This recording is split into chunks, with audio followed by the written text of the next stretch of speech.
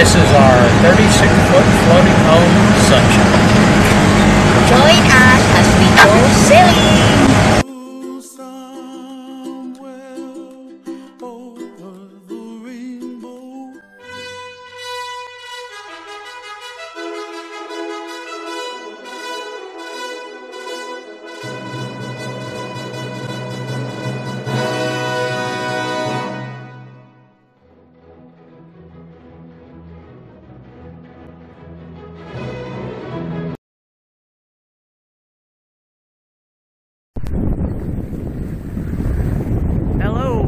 Everybody. Here we are on a Friday morning on the way to Ghan Atoll in the southern end of the Maldives. Right there, you can see my uh, high-priced, highly effective apparent wind indicator, which shows that we're just about exactly on a beach. It's been squally all morning. We have managed not to get any rain so far. Lots of rain yesterday off and on, but so far today, nothing.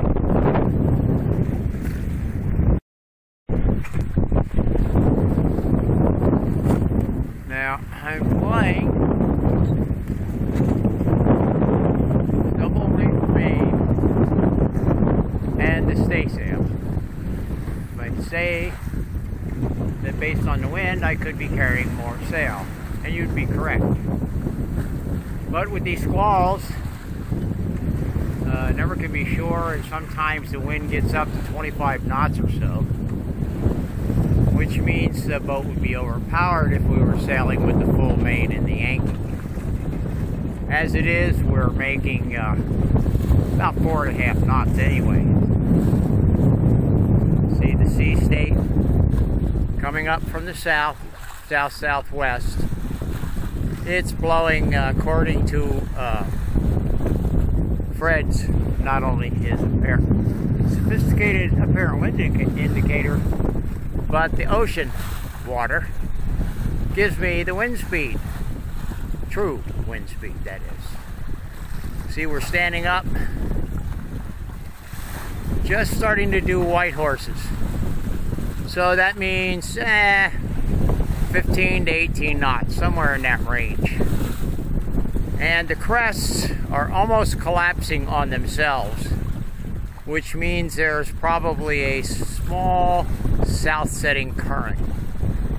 If the waves are flowing against the current, they'll the tops of the waves will collapse down on the wave. It won't crest over and keep going in front of the wave.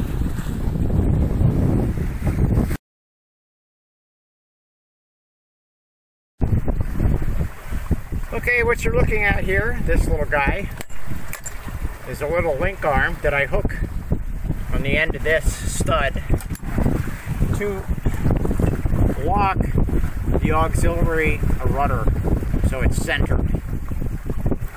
Of course, it's disconnected now because I've got the wind vane operating. May not seem like much,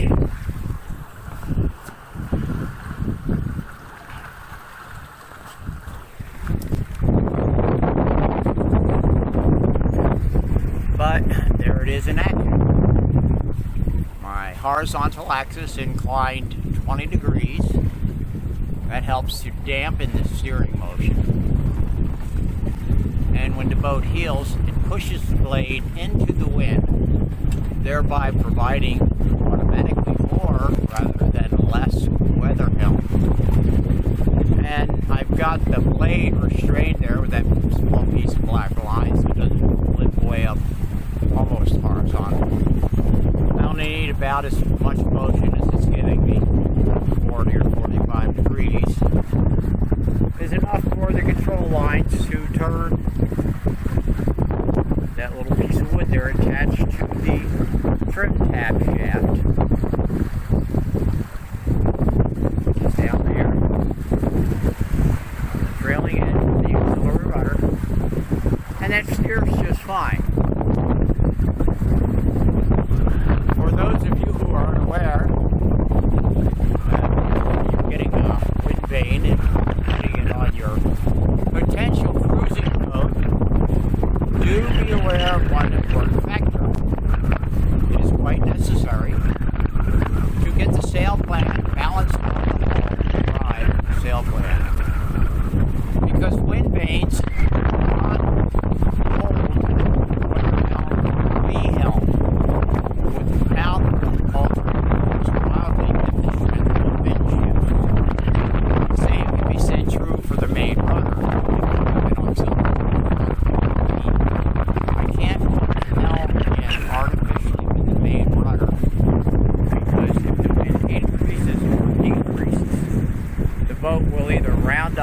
pair off depending what I'm adding in helm with the main rudder.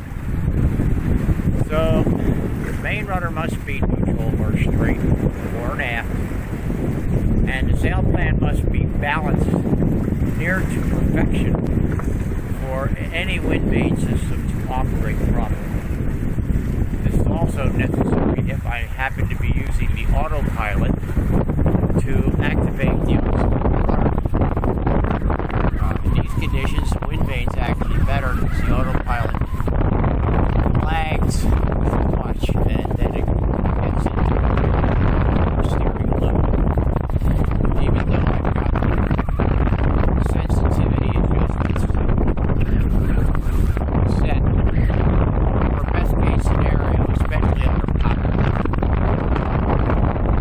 And actually, the boat is so well balanced, even though it's hard for a boat to get over I'll put that link on the auxiliary rudder and tiller. Lock sail and sail. This will benefit. One of the things you have to learn how to do to sail around with uh, wind vane on your boat. You have to learn to balance the sail plan against the hull and not overpower the boat. Especially my boat. Doesn't do any good to put the rail in the water because it's a shallow draft keel. And the boat just winds up making a hell of a lot of leeway.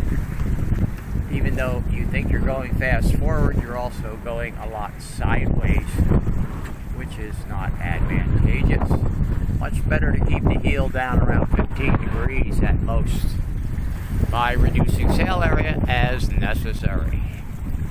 Anyway, that's the wind vane in action, at least on a beam reach.